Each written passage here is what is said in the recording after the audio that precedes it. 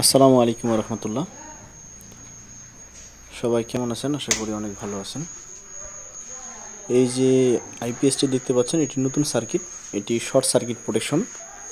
আউটপুটে যদি দুইটা তার এক জায়গায় হয়ে যায়, তাও সার্কিটটা কিছু হবে না। তো এটি নতুন বের হয়েছে আর এই ভিডিওটা মূলত আমার না, আমার এক বড় ভাইয়ের। তো এই সার্কিটটা আর অল্প কয়েকদিনের মধ্যে আমার কাছে পাবেন।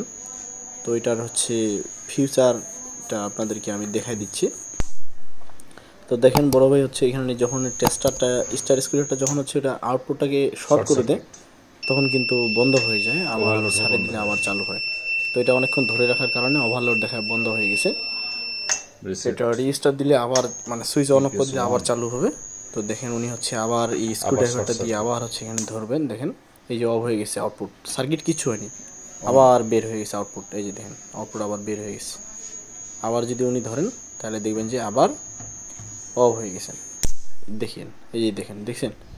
এখন বিষয় হলো এই সার্কিটটা ইনপুট কত থেকে? সর্বনিম্ন ভোল্টেজ আপনারা দেখতে পাবেন এখানে।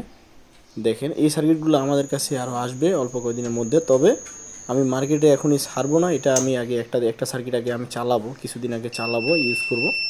তারপর আপনাদেরকে আমি দিব। তো এটা হচ্ছে সিক্স ম্যান ডিসপ্লে আবার এটা এলসিডি ডিসপ্লেও লাগা যাবে। এলসিডি ডিসপ্লে লাগাইলে হচ্ছে আরও তিনশো টাকা বেশি খরচ হয়।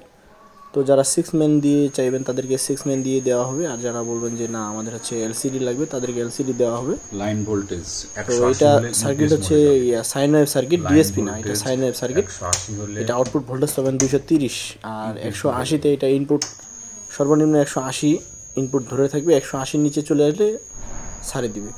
আর সর্বোচ্চ দুইশো আশি। দেখুন ভিডিওটা। Line voltage